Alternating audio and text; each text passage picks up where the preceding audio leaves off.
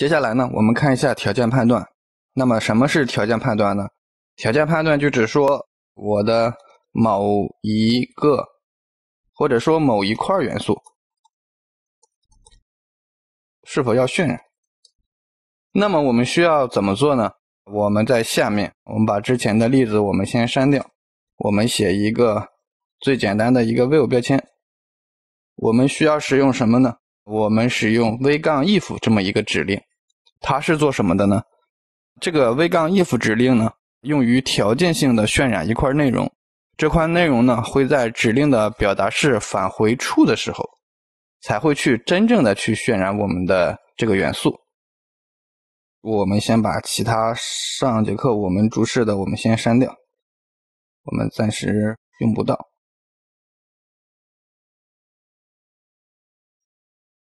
然后我们在这里写一个 v 杠 if 的一个指令，我们这里面去填什么值呢？我们去填一个 true，然后我们在这里写一个 hello uniapp，然后我们去保存，可以看到我们的一个 hello uniapp 是已经成功的输出了。然后我们来看一下我们的元素，看我们的元素在这里已经显示出来了。现在呢，我们把 true 改成 false。我们保存一下，然后可以看到我们的元素啊没有了，消失了。也就是说，我们的值是 false 的时候，它是不去真正的去渲染我们这个元素这块内容的。说明什么呢？说明只有我们 v 杠 if 里面的值是一个真值，就是 true 的时候，我们才会去真正的去渲染我们的内容。那么我们接下来看，把这里去替换成一个我们的一个变量，我们怎么写呢？我们给它定一个变量叫 show，show 呢，我们在我们的 data return 里面，我们去声明它是一个什么呢？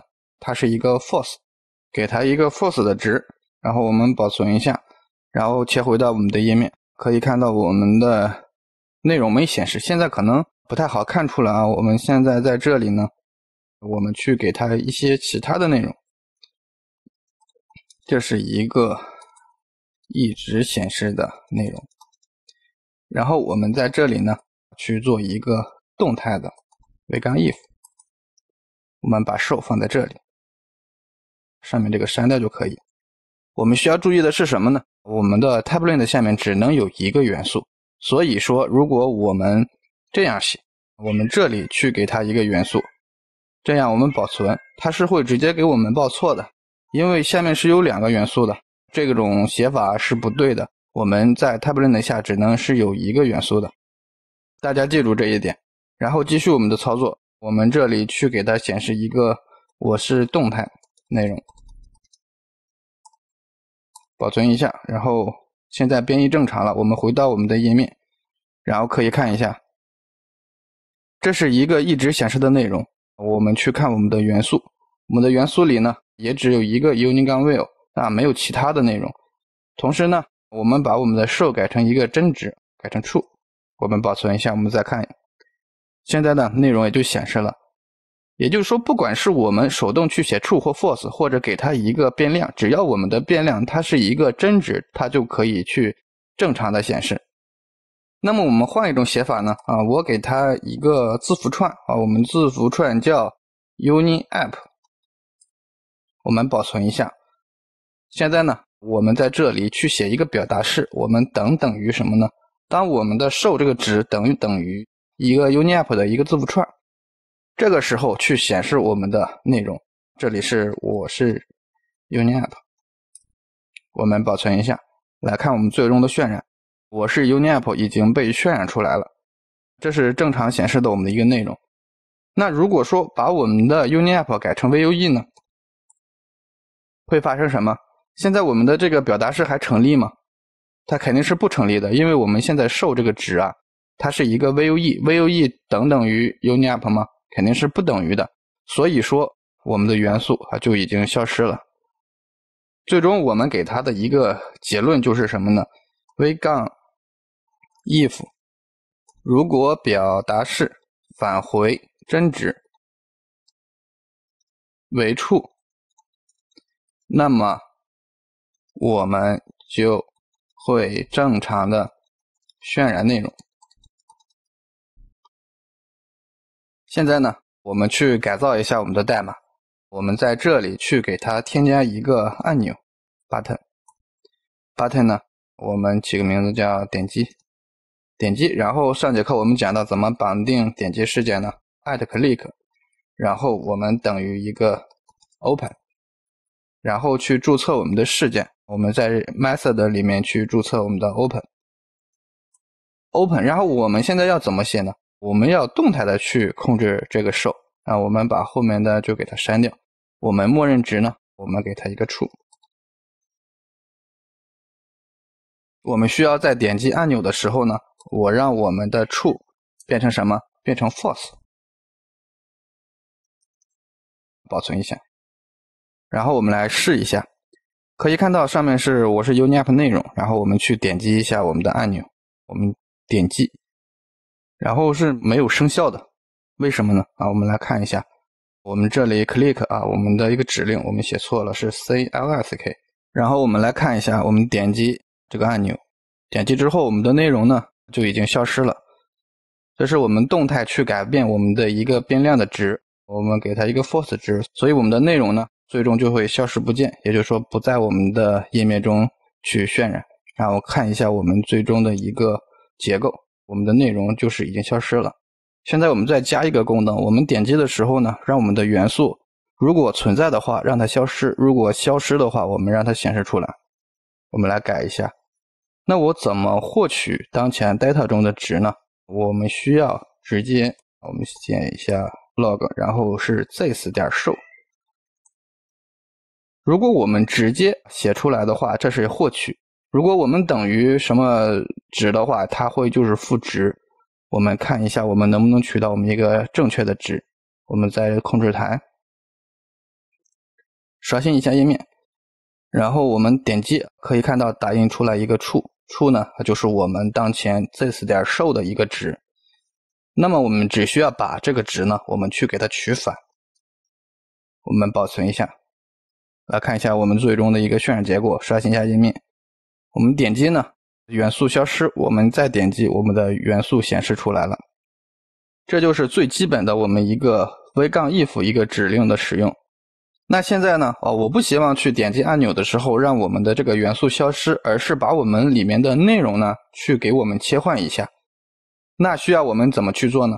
有一个最简单的办法，就是我们直接不用 v 杠 if 的指令，我们直接用 show。然后写一个三元表达式，问号什么呢？如果它是一个真值的话，我们让它去显示 UniApp；如果是一个假值的话，false，我们让它去显示 Vue。这样可以做到我们刚才的一个需求。我们来看一下，当前显示的是 UniApp，如果我们点击的话，会变成 Vue；我们再点击的话呢，又会变成 UniApp。现在我们考虑一下，如果现在我们当前元素内有许多许多的组件，有许多许多的标签，如果我们再这么写的话，合不合适？那显然是不可取的。我们把它先删掉。比如说，我们下面呢还会有一个标签啊，我们叫 UniApp。现在呢，它下面还有一个标签叫 Vue。